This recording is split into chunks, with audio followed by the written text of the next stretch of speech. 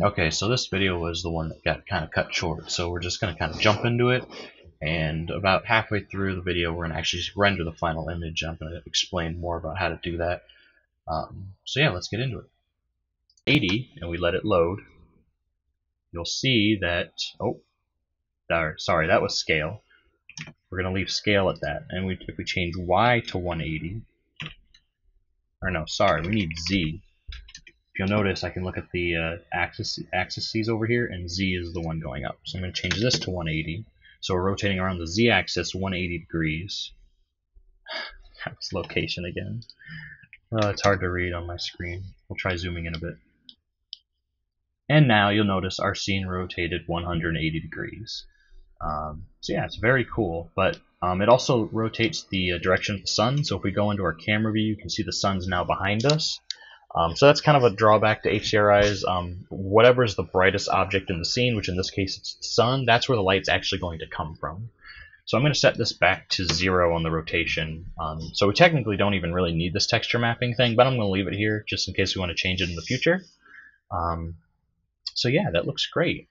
Um, anyways, with that done, I think we can actually start working on our um, final render. So that's going to be a lot of fun. So I'm going to quickly turn off rendered view. I'm going to get out of my camera and I'm going to set this back to a timeline. Um, where's timeline? Timeline. I'm just going to drag it down. I'm going to hit Alt H to bring everything back into our scene. Now this human guy, we don't need him anymore, so we're going to come over here and we're going to click on um, the eye drop and make sure he's not rendered, which he isn't. Um, so now he's hidden, and we can always bring him back with Alt H if we want. Um, so yeah, let's. I'm gonna. But before we render it, I really need to explain to you some of the settings we can tweak. Um, so we're gonna go over to the render panel right here. So in the object panel, render button. This is where everything we can change about our rendering stuff. So first off, our render engine, we can choose between three of them. Workbench, which I believe is just like this weird solid looking thing, which we don't want that um, Eevee, which is the new engine with 2.8, which is realistic lighting. Um, realistic lighting, and uh, but it also looks. It's basically like a game engine, so it isn't actually realistic. It's just fake. So you can see it kind of works if I turn on the uh, shading thing. I'm not sure how it's going to react with our HDRI. Um, you can see the program's a little frozen. So yeah, um, it, this is a bad um, example for um, Eevee actually. Uh, if we had actual proper point lights set up, it would look much more realistic. But uh, in this case, we don't. But if we go to cycles, which is um, the ray tracing realistic look, um, if I change it to shading, it might take a second, and I'm going to have to turn it off right away because it's going to be laggy. Um, but you can see there's that realistic lighting that we were talking about, and it's going to look like a mess in there because um, there's just so much stuff. So we're going to turn that off. But um, there's a couple um, things you can tweak. Some of these I'm not too familiar with because it's new, but um, that you know I, I can teach you most of the important stuff for now. Um, so we first off, um, render engine we want to make sure it's set to cycle so we can get the realistic ray tracing. Um, feature set you can change it to experimental if you want to mess with like the experimental stuff. I don't think um, like micro displacement micro displacements are in yet, so stuff like that. Um, but you can just leave it in supported for now. And you want to make sure your GPU device is set to GPU compute if you have a GPU set up. And you also always want to make sure that you're, um, if you go to edit preferences and then general, um, you want to make sure your cycles compute device is set to CUDA if you have a GPU for it and you have these, you have your GPU selected and your uh, CPU if you can. So basically those two, as long as you have this, you should be fine. Color management, um, you're going to want to leave most of this alone because Filmic is already the best one in, um, for regular renders. Um, look, you can change the contrast. Um, we might be tweaking with that later, but for now we can leave it to base. Basically, if you want a really low contrast picture, you obviously set it to low contrast and, uh, and the opposite for high. Um, but we're going to leave that alone. Sampling, this is a very important aspect. So the higher samples you have, the more realistic a render will look, but it will take a lot longer to actually render. Um, and the same thing for viewport, but the difference is in viewport, if I click render, it'll only try to render 32 samples and then it'll stop. But if we click render and render image and or animation, that's how many samples the render is going to try to pump out. Um, so we're going to go with a really high sample count. So we're going to go with, um, I think we get away with like 550. So this is probably going to take a while. It'll probably be like a 30 minute ish render. But since this is a still, we don't really have to worry about getting the render time low um, as long as it's reasonable. Um, some renders can take up to like an hour. Um, actually, I think I'm going to bump this up to 600 because we do have some glass and reflective surfaces. Um, so yeah. Um, you can also mess with other things like the, the, way it uh, does the, the path tracing, but that's very specific scenarios. I'm just going to leave alone for now. Um, you can also change the seeds and stuff. So if your scene is, I can't remember the benefit to this, but like, say if you have a lot of fireflies in your scene, I think one of the qu quick fixes, this doesn't get rid of all of them, but you can uh, hit randomize so it'll look less evident that your scene has like kind of like a, I don't know, it's weird, but we're not going to be messing with it in this case. Um, light paths, this one's pretty important. So this is the amount of bounces a ray does um, from your surface to the camera before it gives up. Um, so basically, if you have a lot of um, glassy surfaces in your scene, you're going to want to bump up like transparency and transmission. I think just transmission in this case. Transparency is for alpha textures. Um, but in this case, we don't really need to mess with this too much. So, but if you ever have rendering errors, like for example, if you if you have a lot of grass that are 2D pictures, but they look black, you're gonna want, want to mess with your transparency. Um, you just Google it honestly, and it should be able to help you. Volumes. This is if you're using smoke, I believe. Um, but we're not using smoke or anything like that, so we can leave that alone. Hair, this is if you were messing with your hair, hair if you had like a particle system for hair. Again, we have a bathroom scene, we don't really need it. Simplify, I believe this is just for making your uh, viewport faster if you have a lot of um, tech, or if you have a lot of high poly models, um, but we don't really need that right now. Um, I think it also is just for general optimization. I haven't been able to use that much yet, but um, yeah, we don't need to worry about that either. Our scene isn't too complex. Motion blur, this is if you had an actual, um, if you wanted motion blur, and this doesn't have to be just for animations. This could also be for like if you wanted your particles to leave like a trace, like from a shutter of a camera. Um, you could turn on motion blur, but again, we don't really need that. Nothing's moving in our scene.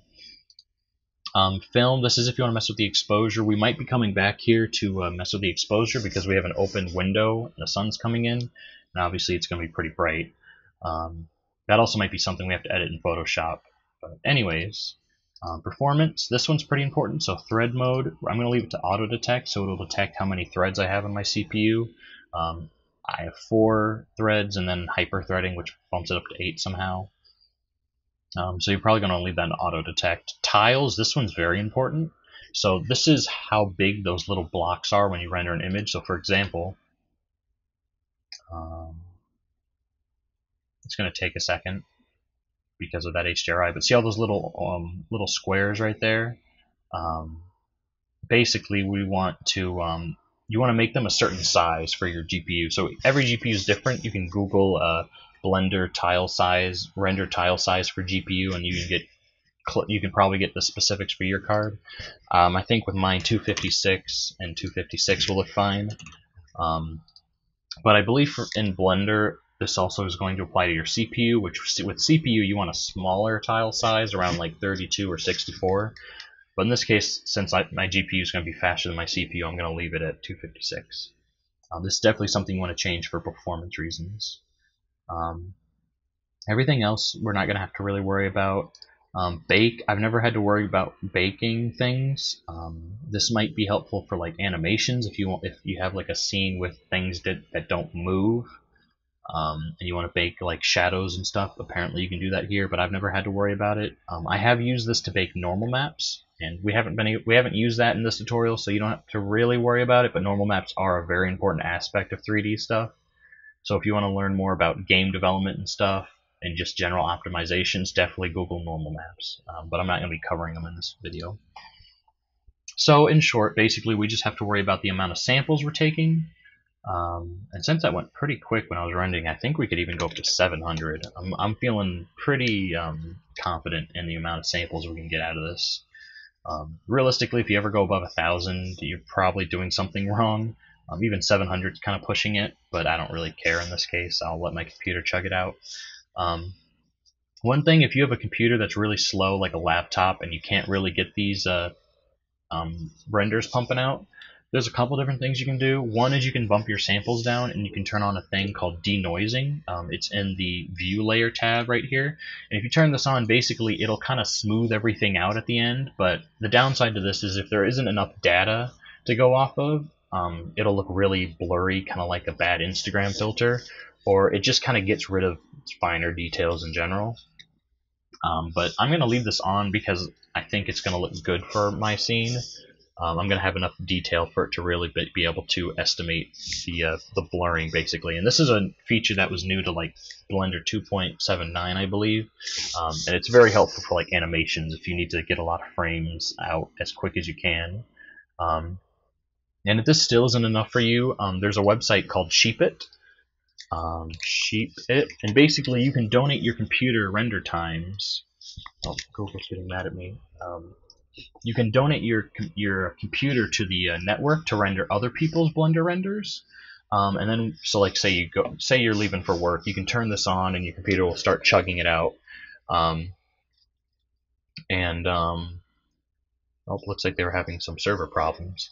But basically, you can uh, donate to the network, and then when you want to render an image, you can uh, send in your Blender file, and they'll render it out for you. Um, there are some limits like file size and stuff, but it's very good if you have a very basic scene that um, has a lot of reflections or something that your computer can't render, but um, but uh, you still want rendered out. So those are a couple of the options. Um, anyways, I'm gonna make make sure you save your um, Blender um, file before every render because if it does crash for some odd reason, you don't want to lose everything. So what I'm going to do is I think I'm going to let this render out. So just kind of refreshing ourselves. We have we made sure we hit Alt H so all of our everything in our scene is back, and I'm going to leave this guy hidden by clicking on it and hitting H. Um, and our camera's in a good position. Um, one thing I can do is I can uh, add so our wall and ceiling texture right here.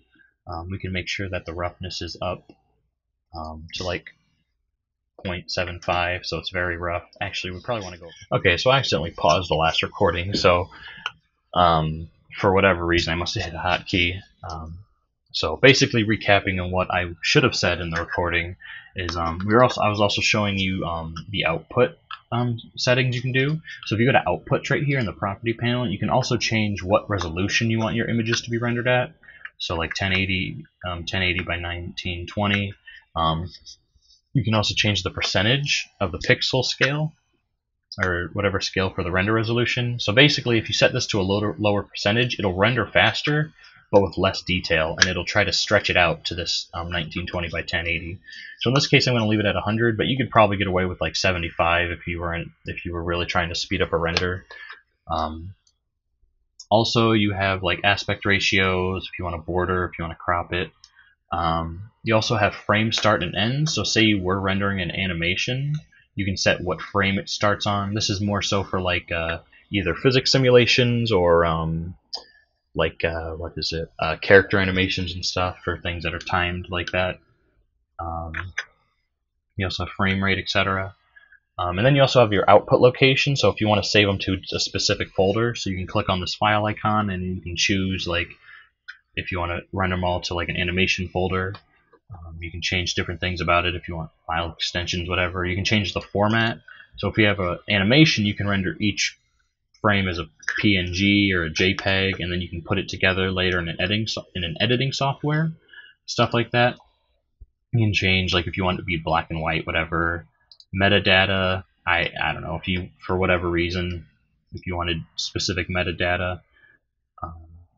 Like lens, I guess, like the actual like focal length, I think, and stuff, which you can edit, by the way. Uh, if you go, if you click on the camera, you click on a little camera boy here, you can change your focal length, um, uh, uh, depth of field and stuff. But anyways, going back to output, you can also change like 3D settings if you want it to be 3D like this. Obviously, you need 3D glasses for it, but yeah. Um, there's also like post processing, but we don't need to mess with that. So yeah, so basically I'm going to be rendering this at 700 samples. Um, and I tweaked the performance of the tile size and stuff. And yeah, that should be good for our scene. So I'm going to let this thing render out, and we're going to come back and see what the final result looks like. We might have to tweak some things as well, but we're just going to kind of see what it looks like.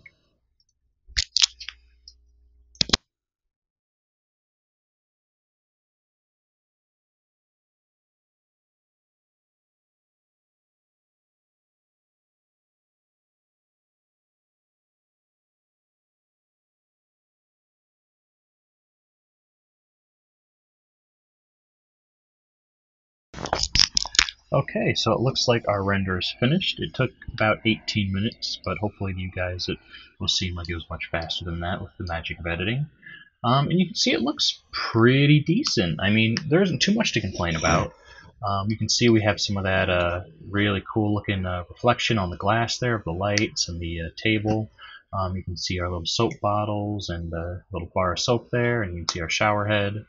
Um, you can see the really cool reflections on the tile down here um, from a window, and uh, you can see the reflection in the mirror.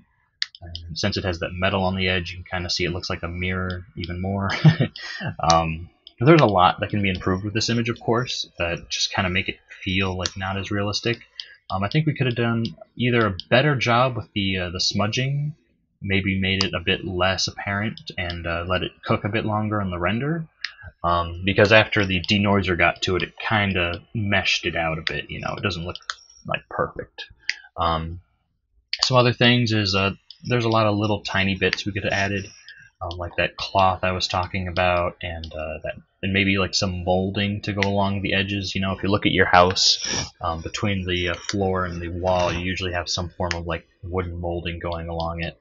Um, stuff like that. Uh, just a lot of little nitty gritty things. But in this tutorial, I just in this tutorial series, I really just wanted to help point out the basics of modeling for you beginners. You know, there's and this was already a pretty complicated course. I'm not gonna lie. I was going pretty fast towards the uh, middle to end, but um, yeah, and also other things like uh, because obviously there's no glass here.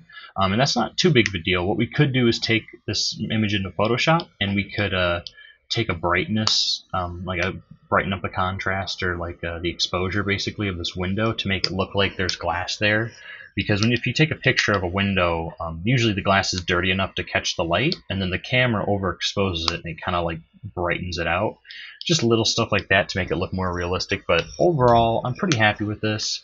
And um, depending how much traction this series get, I'm sure we're going to come back and I can show you more about like cloth, um, cloth simulations and adding, you know, just more bits and details.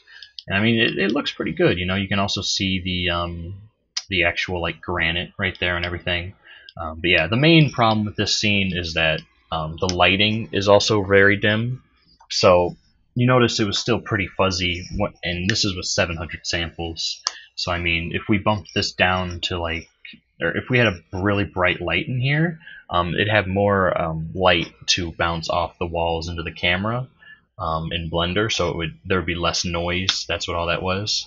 But um, you know, for what we got, it was pretty decent. Um, especially since we're only really uh, relying relying on a sun coming through the window and the lights in the ceiling. So yeah, and this is also rendered in 1080. So in my I have a 4K monitor, so you know, 4K it'd be more like this size. So on an iPhone screen and stuff, this will look a lot better, but on my 4K monitor, I can really notice all those little blemishes and defects. Um, we also could have probably made the glass um, a bit uh, clearer, you know, how we edited it, edited the uh, material and made it darker. But uh, yeah, I think this was a pretty good tutorial to kind of get beginners introduced into Blender, and it looks just realistic enough with these textures that um, you could show it to a friend and they'd say, "Oh, that's pretty cool," and you can say, "Hey, yeah, I made that." So yeah, so that's going to be it for this series so far. Um, if you have any comments, um, I'm open to all the constructive criticism and stuff. If you enjoyed, please leave a like and subscribe, and you can get updates on when I post new videos. So that's all that I got for you to now, um, and I'll see you in the future. Uh, thanks for watching.